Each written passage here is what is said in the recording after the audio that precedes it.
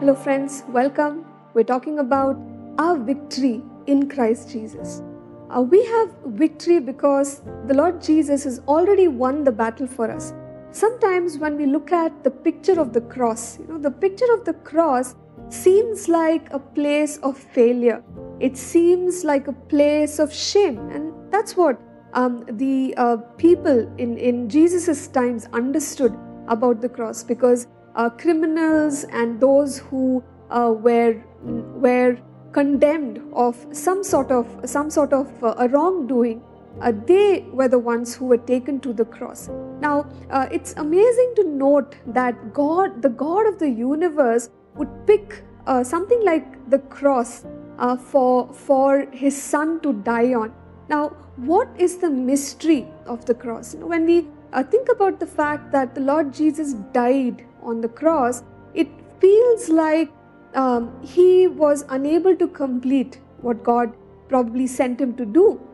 However, scriptures remind us that Jesus had come with the intention to die because that was the only way through which he can become the perfect lamb of sacrifice. So it was it was it was very much in the plan of God for Jesus to die for our sins. So uh, the Bible very beautifully puts it and says that you know this is a mystery. The the cross is a mystery, and as we go beyond that picture of shame and failure which the world accepts, uh, we see that this is really the picture of triumph.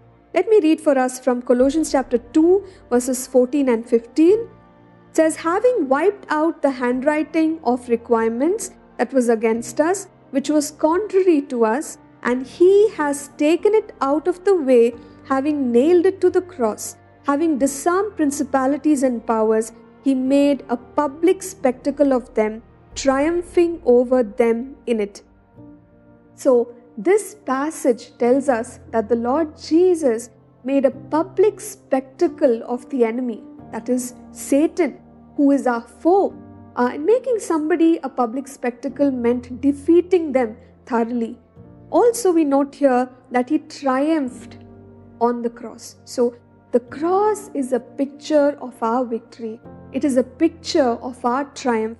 Now, some of us might wonder if Jesus has triumphed on the cross, how does that apply to me? Paul wrote in Romans 8:37, he said, Yet in all these things we are more than conquerors through him who loved us. So, this is God's intention that He has conquered, and through that we become conquerors. He has triumphed, through that we have become triumphant. So, uh, remember that the cross is a picture of triumph Always look to the cross because the cross has overcome sin, sickness, Satan, and death. Let's pray together.